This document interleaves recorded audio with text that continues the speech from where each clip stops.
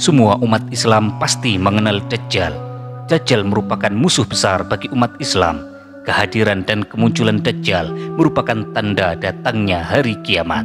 Video ini berisikan tentang kisah Dajjal alaihi laknat, laknatullah alaihi sejak ia dilahirkan hingga ia tewas di tangan Nabi Isa dan pasukannya dalam video ini, kita akan mengetahui bagaimana perkembangan Dajjal dari masa ke masa.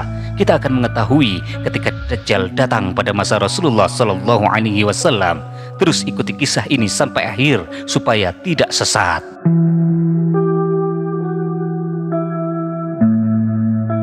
Dajjal dilahirkan 100 tahun sebelum dilahirkannya Nabi Musa alaihi salam.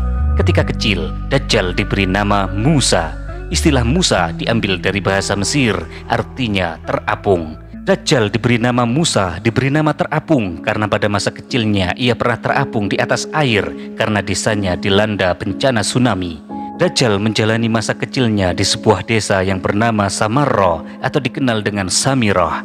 Pada saat ini, wilayah desa Samiroh terletak di negara Palestina. Nama lengkap Dajjal adalah Musa Samiri, artinya Musa dari negeri Samiroh. Jadi ada dua Musa yang populer di kalangan umat Islam juga di kalangan Bani Israel.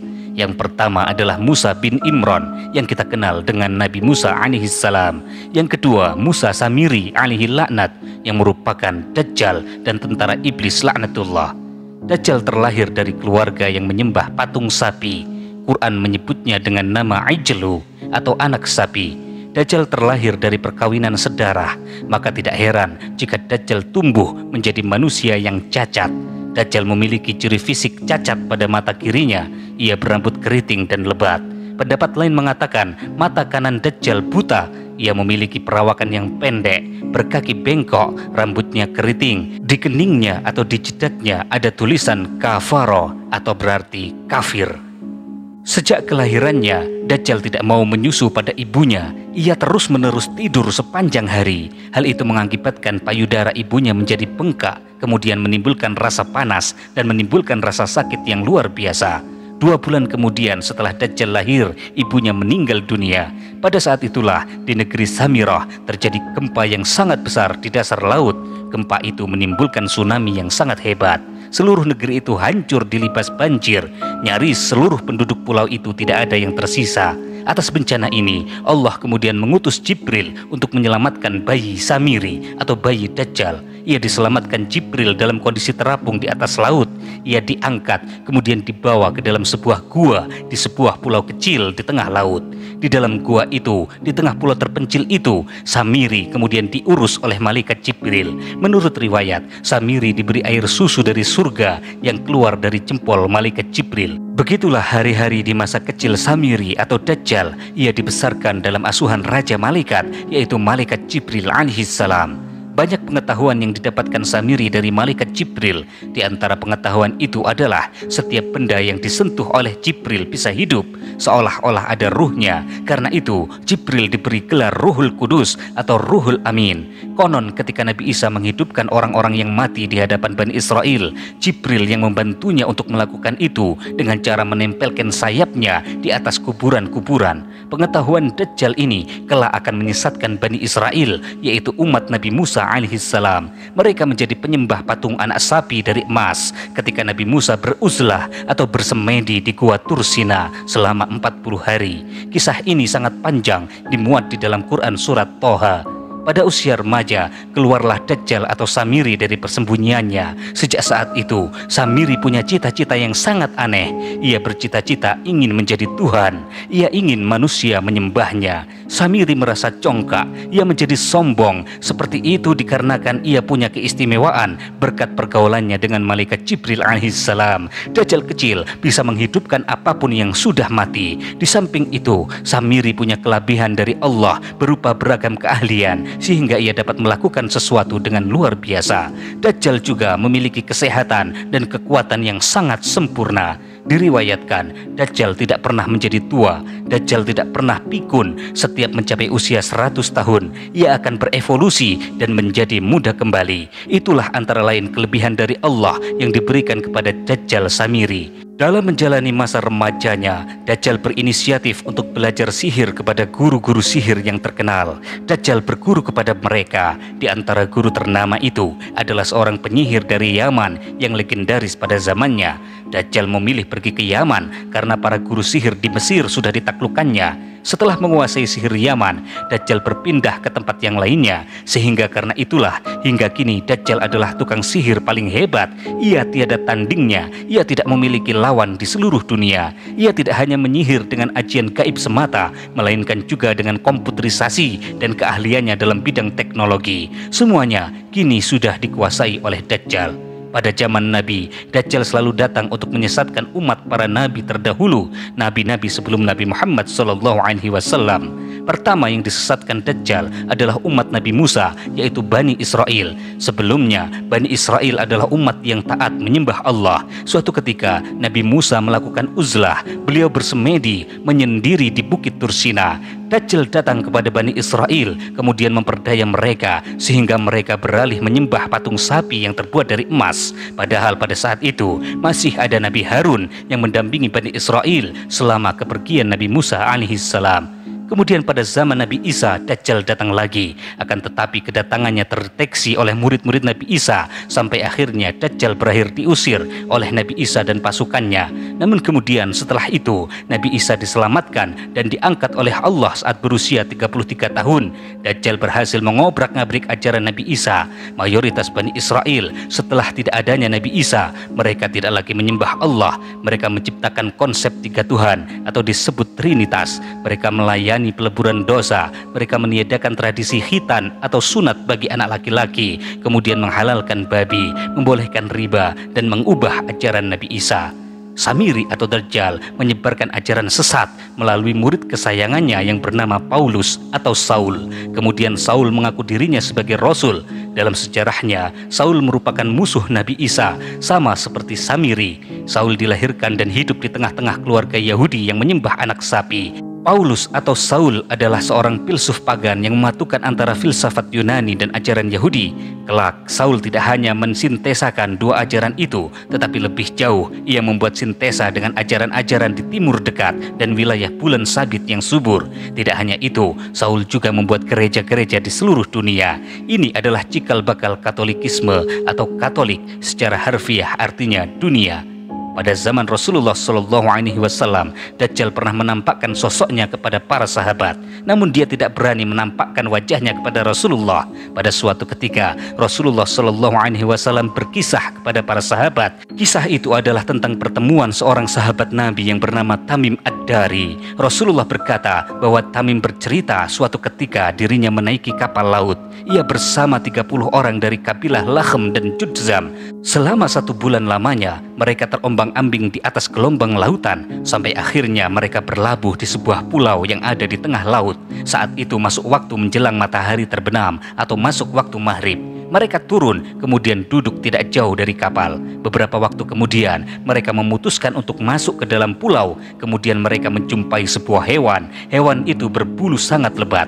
Saking lebatnya bulu hewan itu, mereka tidak tahu, mereka tidak bisa membedakan mana kemaluan binatang itu dan mana duburnya. Hewan itu menunjukkan gelagat yang aneh, seakan-akan dia akan berbicara. Kemudian rombongan Tamim berkata kepada hewan itu, "Celakalah, hewan apakah engkau?" Anehnya hewan itu bisa menjawab, Aku adalah Al-Jassasah.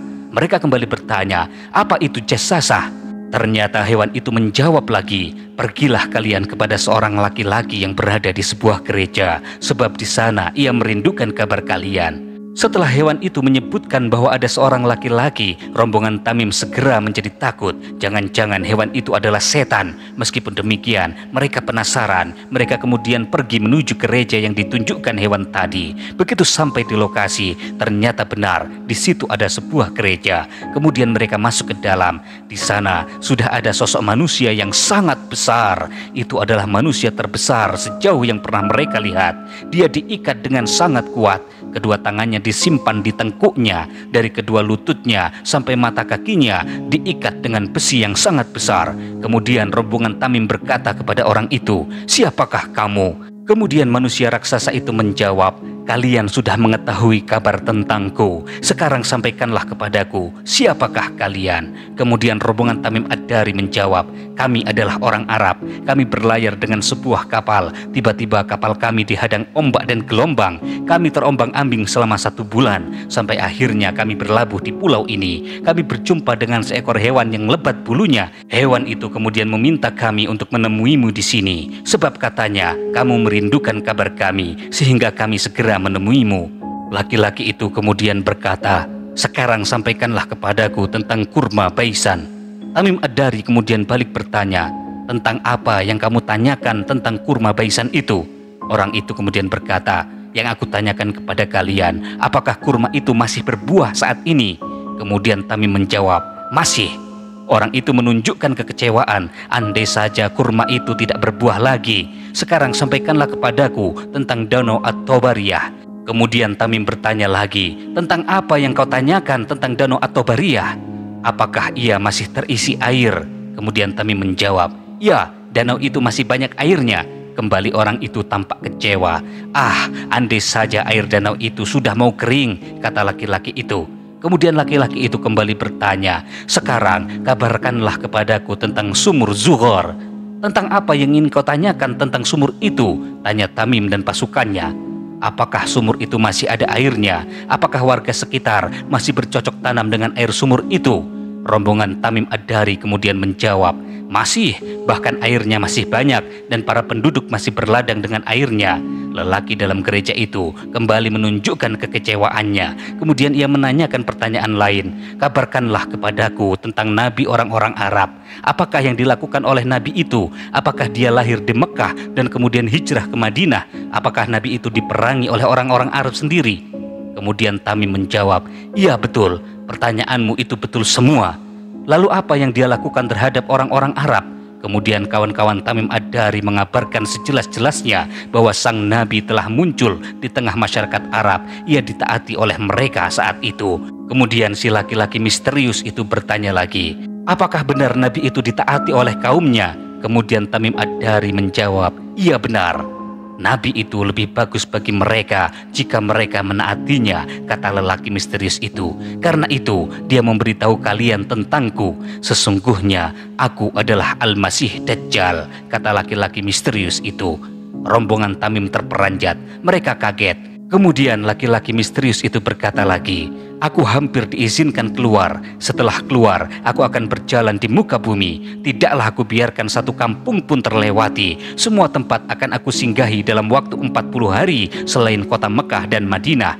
Kota Mekah dan kota Madinah diharamkan bagiku. Setiap kali aku akan masuk ke dalam kota itu, aku akan menghadapi satu malaikat dengan pedang terbungkus sarung di tangannya. Pedang itu akan ditusukkan untuk menghalangiku. Setiap jalan di bukit yang ada di kota Mekah dan Madinah akan ada malaikat yang menjaganya, kata laki-laki menyeramkan itu. Ketika itu Rasulullah bercerita sambil mengetuk mimbar dengan tongkat. Rasulullah bersabda, ini baik, ini baik, ini baik sebanyak tiga kali. Maksudnya yang baik adalah kota Madinah. Rasulullah berkata kepada para sahabat, bukankah aku telah menyampaikan hal ini kepada kalian?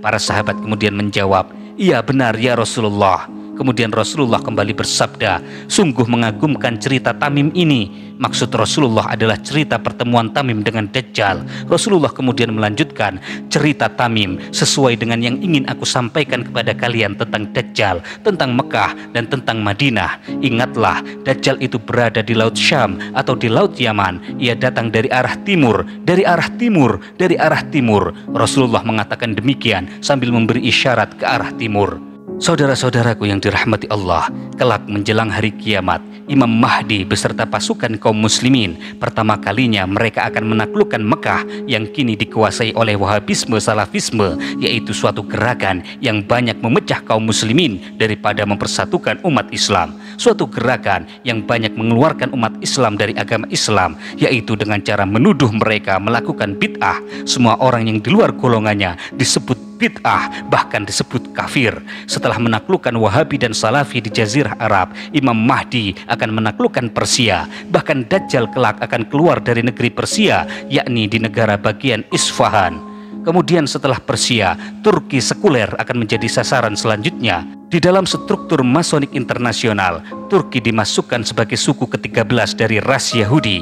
Kita tidak tahu persis ras Yahudi yang jumlahnya 12, akan tetapi nanti akan menjadi 13 setelah mendapatkan tambahan dari ras bangsa Turki. Setelah menaklukkan Turki sekuler, India menjadi target selanjutnya. Ini adalah pusat kegelapan dunia di zaman modern. Saat orang telah meninggalkan menyembah pada binatang, India masih menyembah binatang, sapi, monyet, dan ular diyakini sebagai Tuhan mereka.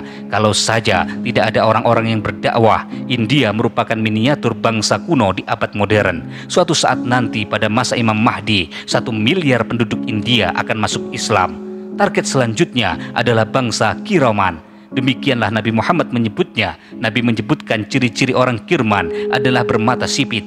Ini mengisyaratkan kepada bangsa-bangsa yang berada di Asia Timur seperti Cina, Jepang, Mongol, Korea, dan termasuk Indonesia. Karena Indonesia secara genealogis berasal dari Cina, hanya kulitnya saja yang berbeda karena perbedaan iklim antar Asia Timur dengan Asia Tenggara. Pada dasarnya, keduanya adalah sama.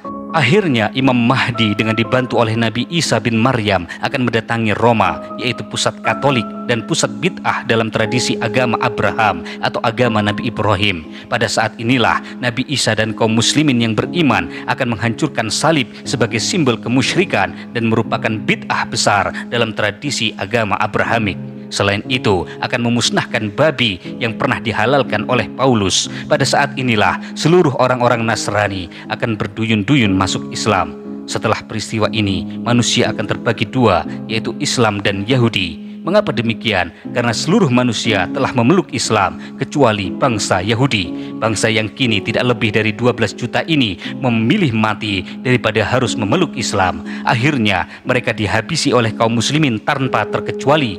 Kaum Yahudi akan lari terbirit-birit. Mereka bersembunyi di balik bebatuan dan pepohonan. Pada saat itu, batu dan pohon akan memberitahukan tempat persembunyian orang Yahudi kecuali satu pohon, yaitu pohon Gorkot. Itu merupakan pohonnya orang Yahudi Yahudi pada penaklukan Roma, Dajjal akan keluar dari persembunyiannya. Disebutkan bahwa Dajjal akan keluar bersama 70 ribu pasukan Yahudi di Isbahan. Dajjal akan menyerang Syam atau Palestina, kemudian berambisi menghancurkan pasukan Imam Mahdi dan Nabi Isa. Pada waktu itu, setelah sholat subuh, jamaah masjid yang dipimpin oleh Al-Mahdi keluar, sementara Dajjal bermaksud menyerang mereka. Nabi Isa dan pasukan kaum muslimin bertemu dengan pasukan Dajjal. Kedua pasukan itu kemudian berperang. Ketika pasukan Yahudi mulai keteter heran Dajjal bermaksud melarikan diri namun ia kepergok oleh Nabi Isa bin Maryam di gerbang Lut, Palestina. Pada saat berhadapan dengan Nabi Isa alaihissalam, Tubuh Dajjal mendadak leleh seperti lilin yang dibakar oleh api atau dalam riwayat lain seperti garam yang terkena air. Tubuh Dajjal hancur, maka setelah itu musnahlah Dajjal. Sejarah Dajjal sudah habis. Sejarah Dajjal yang bercokol membuat fitnah dan bid'ah selama lebih dari 4500 tahun sudah berakhir. Setelah terbunuhnya Dajjal, dunia akan aman dan damai. Manusia dipenuhi dengan kemakmuran. Mereka hidup kaya raya, kaya dengan materi, kaya dengan kehidupan spiritual. Mereka hidup dalam puncak keimanan kepada Allah Subhanahu wa taala. Sementara dunia dipimpin oleh pemimpin yang adil, pemimpin yang kuat dan saleh. Pemimpin itu bernama Al-Mahdi. Dia adalah khalifah terakhir kaum muslimin dan juga pemimpin dunia. Wallahu a'lam bisawab. Ihdinas siratal mustaqim المستقيم صراط الذين أنعمت عليهم غير المغضوب عليهم ولا الضالين Ya Allah lindungilah kami dari fitnah Dajjal dan fitnah para pasukannya